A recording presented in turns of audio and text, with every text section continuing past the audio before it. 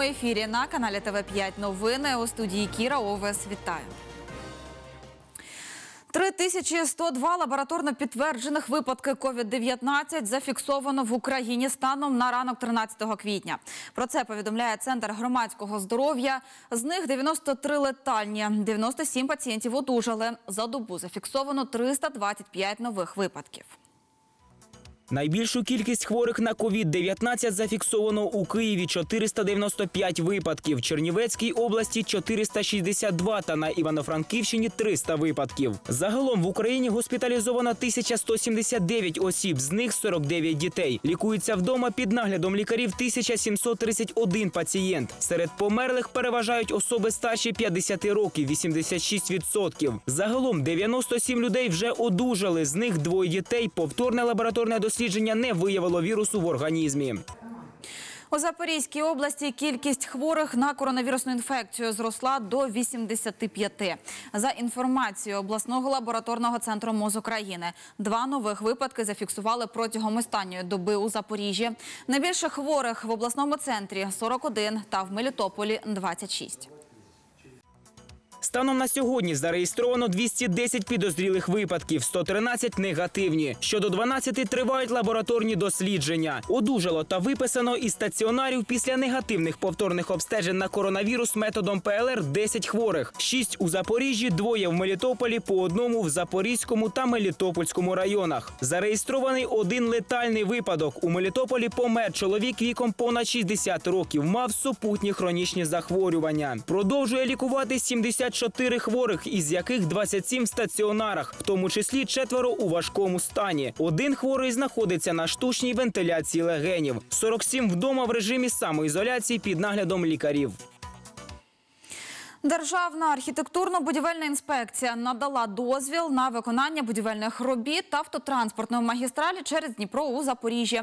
Станом на сьогодні на майданчику триває зведення модульного містечка. Тут уже функціонує бетонний завод. Які роботи проводяться нині та про плани на цей рік, розкаже Валерій Калайтан. Державна архітектурно-будівельна інспекція України надала службі автомобільних доріг у Запорізькій області дозвіл на будівництво автотранспортної магістралі через річку Дніпро. Підрядна організація вже облаштувала будівельний майданчик на об'єкті. Наступного тижня розпочнеться активна фаза робіт. Про поновлення будівництва мостів у Запоріжжі повідомив голова облдержадміністрації Віталій Туринок. Роботи тривають. Будівельний майданчик можна умовно розділити на верхній з боку Гортицького району та нижній, ближче до мосту Преображенського. На першому вже встановлений та функціонує бетонний завод. Потужність цього заводу становить 300 кубічних метрів бетону за зміну. Для розуміння протягом доби можна повністю наповнити 30 таких авто. Але бетон поки що спрямовується не на мости, а в буквальному сенсі через дорогу на модульне містечко. Тут уже зведено кілька споруд. сооружаются э, те здания, в которых будут э, проходить э, непосредственно совещания, те здания, где будут э, проживать э, люди, которые будут э, выполнять эти работы. Тривають роботи і на нижній частині будівельного майданчика. Ось так він виглядає зблизька. Робітники підрядної організації наразі переважно працюють з металевими конструкціями. Мы производим демонтаж стапеля э, И перебрасываем его с верхней, с верхней части на нижнюю часть. Чтобы выполнять работы по третьему сооружению, нам необходимо э, та территория, на которой расположен этот стапель. Э, Мы, когда перекинем на нижнюю часть, на нижней части мы будем собирать уже надвижку э, на четвертое сооружение, на нижнюю часть. Э, И освободим место для третьего сооружения. Фактично зараз отримано весь пакет документів та дозволів на початок будівельних робіт. Цього року планують з'єднати два береги Дніпра. Мы соединяем Бабурку с островом Хортица. И у нас есть э, верхняя часть четвертого сооружения. Это непосредственно э, над э, рекой Днепр. Э, Мы уже надвижку выполнили э, в прошлых периодах. Сейчас будем ее опускать в проектное положение. Мова йде про ось цю конструкцію. Крім того, цього року роботи планують провести і на протилежній частині ділянки. Дальше мы будем монтировать э, третье сооружение и продолжать навстречу идти э, пятым сооружением. Там некоторые работы в предыдущих периодах уже были выполнены, то есть там есть участки, где э, можно уже бетонировать, есть участки, где можно уже армировать э, и идти навстречу, э, скажем так, э, уже бабурки. Цього року планують також почати підготовчі роботи і на найвищій точці усього будівництва. Мова йде про пілони. Мы должны добетонировать э, два пилона, которые там, не добетонированы буквально э, 10-11 метров. Э, Это необходимо сделать. Сейчас идут переговоры по башенному крану, по э, лифтам, чтобы людей туда доставлять. Загалом цього року на об'єкті планують виконати робіт на загальну суму майже 3 мільярди гривень. 1 апреля было постановление Кабинета министров, в котором в Запорожской области выделили 3,4 миллиарда гривен, Э, в том числе полтора миллиарда – это автотранспортная магистраль через э, реку Днепр. Э, Мы полтора миллиарда, до этого было выделено еще 500 и 750, то есть в общей сложности 2 миллиарда 750 миллионов мы планируем выполнить на эту сумму в этом году работ. Зараз на об'єкті працює 60 робітників. В той же час у службі автомобільних доріг запевняють, на темпи та строки проведення робіт карантинні обмеження ніяк не вплинуть. Выполнение работ э, будет происходить согласно графика выполнения работы, я думаю, еще и с опережением графика. Э, Поэтому наша задача строить э, максимально э, качественно, максимально быстро и э, максимально обережно. То есть у нас э, мы э, соблюдаем все меры э, по карантину, э, но в то же время и выполняем э, ремонтно-строительные работы на этом объекте. Нагадаємо, згідно з умовами контракту, повністю здати об'єкт підрядник має у березні 2024 року. Валерій Калетан, Костянтин Грушко, ТВ 5 Відтепер у Запоріжжі будуть робити вдвічі більше тестів, які виявляють коронавірусну інфекцію. Запорізький обласний лабораторний центр отримав обладнання від титано-магнієвого комбінату. Для вірусологічної лабораторії передали систему ПЛР, бокс біологічної безпеки, холодильну камеру та дозатори. унікальне обладнання на сьогоднішній день, яке дозволить робити в два рази більше на сьогоднішній день тестів. А ми самі з вами розуміємо, що якщо ми знаємо діагностику, яко- якщо ми знаємо точний відповідь, то ми знаємо на сьогоднішній день ситуацію. Тому я дуже вдячний відповідальному бізнесу Вот это оборудование, которое мы получаем, оно полностью сопрягается с тем оборудованием, э, с тем комплектом одним, который стоит у нас и работает у нас. Естественно, оно более современное, более э, прогрессивное, оно с, э, производство вот буквально свежее. Э, данная продукция производства США, Латвии, Польши и Украины.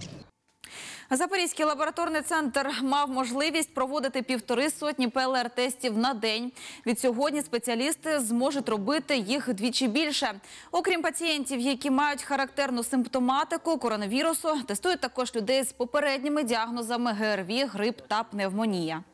Когда мы увеличили количество за последнюю неделю обследуемых, э, обследуемых лиц, включили сюда не только подозрительные случаи, а контактных, э, включили сюда э, медработников, которые ставили, обследовали больных, включили членов семей их, включили сюда всех больных, которые находятся на лечении с пневмонией и острыми респираторными вирусными инфекциями.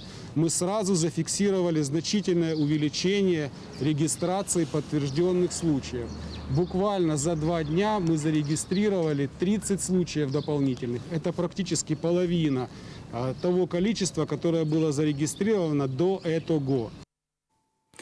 На запорізьких підприємствах Метинвесту посилений контроль за станом здоров'я працівників. Аби не допустити розповсюдження коронавірусу на виробництві, металургів забезпечують необхідними засобами особистого захисту та кілька разів на день вимірюють температуру. Тетяна Кучеренко дізнавалась більше про особливості карантинних заходів. На Запоріжкоксі проводиться щоденний моніторинг стану здоров'я працівників. Зокрема, температуру вимірюють кілька разів на день. Спочатку на прохідних, де для цього встановлені спеціальні термодатчики, які сповіщають про підвищену температуру з допомогою сирени. Вдруге заміри проводить майстер на початку зміни. Також упродовж дня на підприємстві проводять так звані температурні рейди. Такие рейды нужны для выявления а, вновь заболевших работников, а, которых, э, у которых, возможно, утром не было температуры. А, Мастер утром при замере температуры их не выявил, а в течение дня, может быть, температура поднялась. И поэтому э, мы про- проводим замеры в течение дня, э, чтобы не допустить распространения коронавируса на нашем предприятии. Вимірювання проводять з допомогою пірометру. Це безконтактний термометр, який швидко і точно визначає температуру тіла та видає результат на електронний екран. В принципе, это очень удобно. Это позволяет не отвлекать работников от работы, практически мгновенные замеры и довольно-таки точные показания.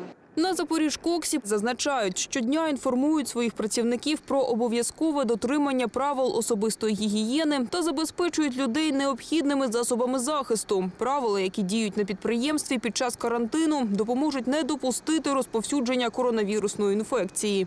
А Все работники обязаны носить маски для защиты от э, в- заболевания. Э, И мы производим контроль э, ношения работниками масок, э, фиксируем видео, фотографии делаем. Ну и работники, которые нарушают этот режим, подвергаются штрафам, а также их мастера. Это делается с целью, чтобы не допустить распространения коронавируса, в том числе на нашем предприятии. Такі заходи проводяться на всіх запорізьких підприємствах Метинвесту. Тетяна Кучеренко, Андрій Снісаренко, Сергій Чалий, ТВ5. Найпершими серед усіх спортивних федерацій про дострокове завершення сезону оголосили в українському баскетболі. Сталося це 12 березня наступного дня після оголошення карантину. Спочатку це рішення викликало чимало негативних емоцій серед уболівальників. Проте зараз усі розуміють, що це мудрий вчинок. Руслан Левицький докладніше про підсумки сезону для баскетбольного клубу Запоріжжя та хто залишиться у складі команди. Шокуюча звістка про дострокове завершення сезону зненацька застала усі клуби суперліги. Значні фінансові вливання спонсорів, високооплачувані легіонери, амбіції самих гравців. Усе це не мало підсумкового результату. Найбільший удар критики припав на президента Федерації баскетболу України Михайла Бродського. Він твердо стояв на тому, що змагання треба припинити. Представники місцевих федерацій підтримали це рішення більшістю. не просто было м, понять эту ситуацию, потому что такого не было. Что такое карантин, что такое пандемия. И основной аргумент наш в итоге, я к нему сам пришел, э, что самое главное это все-таки безопасность людей. Это безопасность зрителей, безопасность игроков и так далее. И как жизнь показала, что Михаил Юрьевич оказался прав. И мы оказались правы. Э, По крайней мере, я на сегодня не слышал, чтобы хотя бы хоть один игрок или один работник клуба или кто заболел коронавирусом. Все живы-здоровы.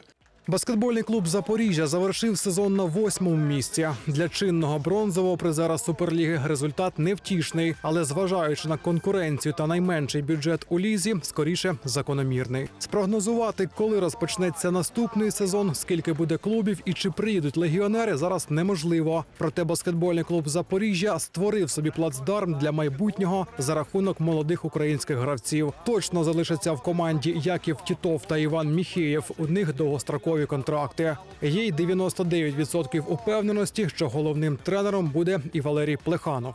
У меня действительно есть долговременная договоренность, устная договоренность с президентом а, клуба и с президентом федерации.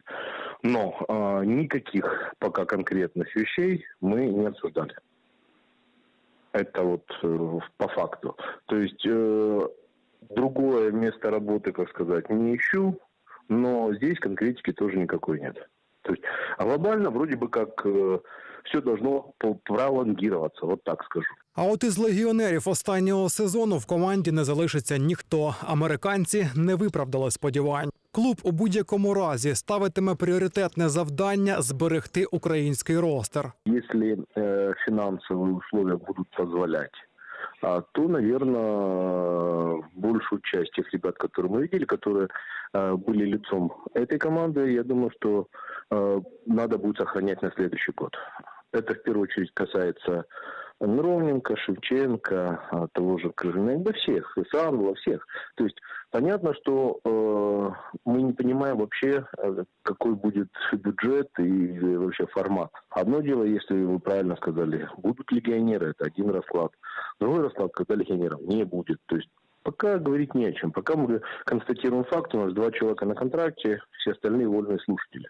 Ті гравці, які мають контракт із клубом, продовжують працювати в індивідуальному режимі і тримають контакт із тренерами. что вся эта ситуация с коронавирусом очень негативно повлияла на спорт, в частности на баскетбол. В Украине очень обидно, что чемпионат закончился раньше времени.